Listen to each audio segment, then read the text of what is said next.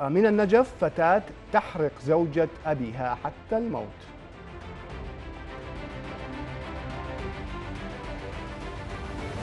تأشر لي أنا عاشرة أعرف إشارتها قبل بطبيعة إشارتها قالت لي هيك يعني اللي تعني هي بتزوجها شمرت علي النفط وحرقتني. جريمة بشعة ذهبت ضحيتها امرأة وهي من آه، يعني أصحاب الاحتياجات الخاصة من الصم والبكم تحديدا متزوجة من ابن خالها. صارت مشاجرة بينها وبين ابنة زوجها. آه، ابنة زوجها يعني بداية العشرينات عمرها 22 23 سنة. هذه البنية سكبت النفط على آه، زوجة الأب. وحسب روايات الضحية قبل وفاتها في المستشفى شرحت لشقيقها كيف أنه تم حرقها في آه، غرفة. باقي البيت لم يصابوا بأذى. لذلك كان مراسلنا من النجف الزميل محمد رزاق التقى بعائلة الضحية وتحدثوا لنا عن هذه القصة. خلونا نشوف.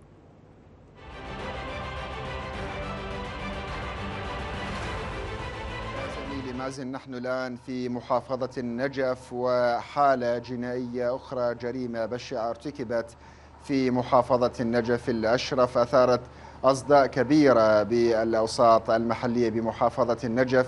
معنا شقيق المرحومة حتى نتحدث بصورة أكبر وتفاصيل أكثر عن هذه الجريمة اللي راح ضحيتها آه، أحدى النساء بمحافظة النجف الأشرف الأخ أكرم. عظم الله أجرك والبقاء في حياتك أخ أكرم. شنو اللي صار مع قضية المرحومة شقيقتك؟ حياتك الباقية أستاذ محمد. أستاذ محمد أختي تعاني من السكم خرسة لا تسمع ولا تحكي. متزوجة من ابن خالي. الجريمة اللي حثت باعتراف أختي بوعيها الكامل بداخل المستشفى وبحضور مركز الشرطة والمفوضين أدلت بأفادتها. اللي قامت بالجريمة زوجة بنت زوجة أختي. بنت زوجته مو شقيقته. بنت زوجته. أنا جاني الاتصال من أخو زوج أختي. قال لي البيت محترق. أنا ذهبت على هذا الضوء رحت للبيت ما بي شيء دخلت من باب الحوش. لقيت أختي متمددة بباب الحوش. كلها محترقة عبارة عن سواد وفحم. يعني منظر الله لا يراوي على مسلم. فالحالة جدا صعبة فأنا انصدمت فقلت شيء أكيد يعني أكو بعد ناس محترقة.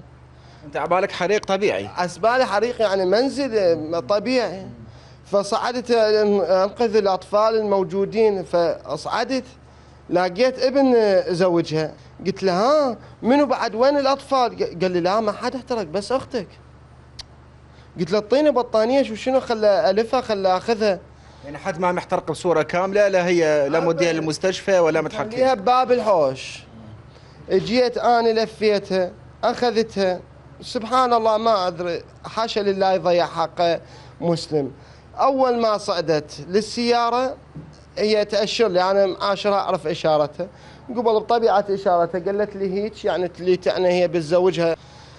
شمرت علي النفط وحرقتني. اخذتها للمستشفى نقلتها إجوا المركز المختص إجوا يحققون وياها. أنا أسألها وهم يسألوني فاستفسرت أكثر. قلت لها مكان الحادث وين؟ قالت بغرفة النوم. قلت شنو سبب الشجار؟ قالت الشجار اللي صار لقيت عند بالزوج بالزوجي موبايل. قلت لها هذا الموبايل ذبيه لو راح أقول لابوك فهي عارضتني ومانعتني. يقول جابت طابوقه ضربتني بيها. هالدور شمرت علي النفط. يقول طلعت من الغرفة وقفلتها من برا. تقول أنا رحت للغرفة أدقن أدقن أدقن. يعني ضربتها وحصرتها بغرفتها وقافلة الباب عليها. بالضبط أستاذ. يعني هي مو ضربتها هاي شمرت النفط عليها ما حرقتها بعد هي هاي وين راحت؟ تدق بالباب على مود الناس تسمعها. شغلت نار من جوا الباب. هاي احترقت. تقول لي يعني هذا بوصفه هذا موثق في فيديو. تقول ظليت أدق بالباب أدق بالباب. يعني أستاذ محمد الموجودين مو عدد قليل بالبيت. والبيت مو كبير 100 متر يعني ما حد سمع ما حد شو اسمه؟ من أهل البيت تقصد ما حد من سمع. أهل البيت. يعني ابن زوجها ومرت مرت ابنه وبناته وش اسمه أخوه موجود ومرت أخوه موجودة زين أنتم ليش ما أسعفتوها؟ المتهمة طليقة القى القبض عليها وين موقفها شنو حالتها لا طريقه ما حد يلقي القبض عليها. بالنسبة للمطالب مطالب مجتمع كامل. الحالات اللي جاي تصير بالمجتمع خطيرة الدرجة يعني. إحنا ما عندنا هيك حالات خاصة بالعراق. إحنا مجتمع متدين مجتمع أصحاب عرف.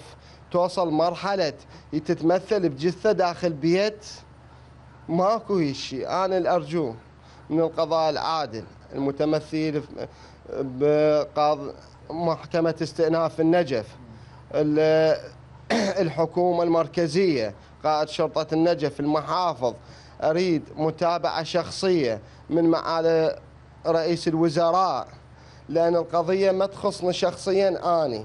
لا تسمع. لا تسمع. لا تحكي أنت تجي تعاقبها بهي جريمة بشعة.